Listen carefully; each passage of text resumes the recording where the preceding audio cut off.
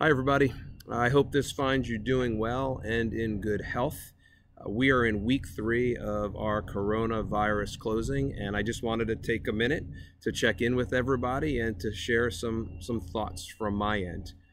I want to start by expressing gratitude to the many members of this community who have sent us notes, letting us know what's going on in your daily lives. Uh, for our current parents, letting us know what your son's experience has been like through this distance learning program. Uh, keep them coming. We really enjoy them. I did want to share with you one story in particular that was sent my way. Uh, if you'll recall, a few weeks ago, we began live streaming an 11 a.m. daily mass. And I want to thank Father Bruce Steger for taking the lead on that. And I also want to thank the uh, Jesuits of the Jesuit community at Loyola University for making yourself available to our community in the way that you have. Um, in this one particular note that I received, this this parent said, "This is the first time that my family has ever been able to attend daily mass together." Um, and we were very excited to see Mr. Gottschall uh, there, who must be uh, her son's uh, sixth grade theology teacher. Um, and at one point during the Mass, Mr. Gottschall began reading the prayer or reciting the prayer of generosity, which for most of our students is known as the prayer of St. Ignatius. And it was at that moment that her son, out loud and unprompted, began reciting the prayer uh, along with Mr. Gottschall. Uh, it was a consoling moment for her. When she shared that story with me, it was an incredibly moving story uh, for me to receive. And I am so grateful uh, that I received that. And that story kept me going and continues to keep me going uh, through what can be some challenging times here.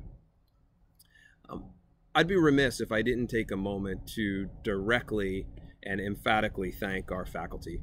Uh, our faculty who have kept this learning going, although distantly, uh, who have continued to show their commitment to cura personalis, which is the Jesuit term for care for each individual. Uh, their care and concern and love and commitment to their students, I would argue, is unmatched by any teaching staff in the area. I'm so proud to call them my colleagues, uh, my friends, and the teachers uh, of my sons when they were here. Rest assured that these are people who are making our mission matter, uh, and they will continue to do, to do their part to ensure that all of our Dons have the best possible experience here at Loyola. Um, I know you are being pulled in many, many directions. I know that there are many distractions hitting you each and every day. I know that these are very challenging times for everyone. I'd invite you, though, to hit pause, if you could, for a moment.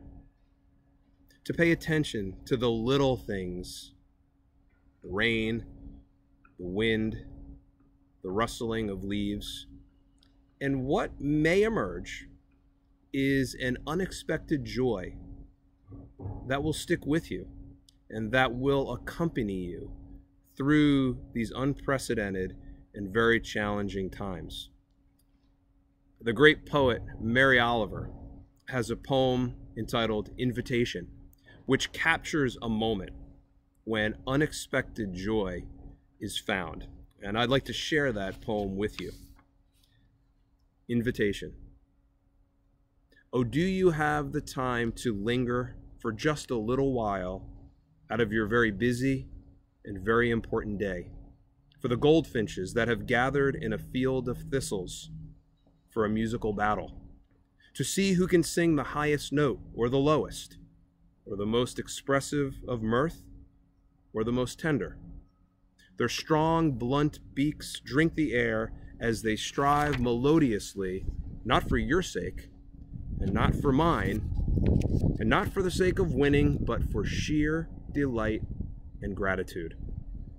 Believe us, they say, it is a serious thing just to be alive on this fresh morning in the broken world. I beg of you, do not walk by without pausing to attend to this rather ridiculous performance. It could mean something. It could mean everything. It could be what Rilke meant when he wrote, You must change your life. So hit pause, take some time to reflect, take some time to enjoy the small things in life. We are in this together. Keep the faith.